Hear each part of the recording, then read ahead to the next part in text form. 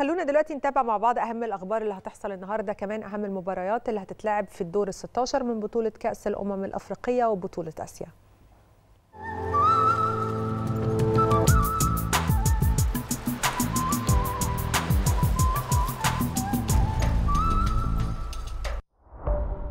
بالنسبة للأخبار اللي هتحصل النهاردة فهيعقد المجلس القومي للمرأة ندوة حول العلامة التجارية الجماعية كأداة للتنمية والحفاظ على التراث.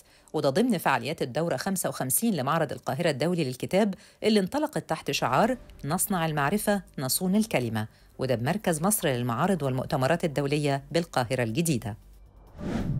النهارده هتنظم محافظة الجيزة بالتعاون مع مجلس الأعمال اليمني معرض للحرف التراثية والمنتجات اليدوية بيشمل منتجات السجاد والخزف والفخار وغيرها من المنتجات والحرف اليدوية اللي بتشتهر بها العديد من القرى بمحافظة الجيزة.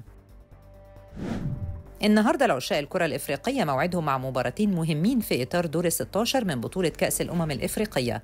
هيلتقي منتخب مالي مع منتخب بوركينا فاسو الساعة 7 بالليل. الساعة 10 بالليل هيلتقي منتخب المغرب مع منتخب جنوب إفريقيا. لعشاء الكرة الأسيوية موعدهم النهاردة مع مباراتين قويتين في إطار دور ال 16 من بطولة كأس آسيا. هيلتقي منتخب أوزبكستان مع منتخب تايلاند الساعة واحدة ونص الظهر.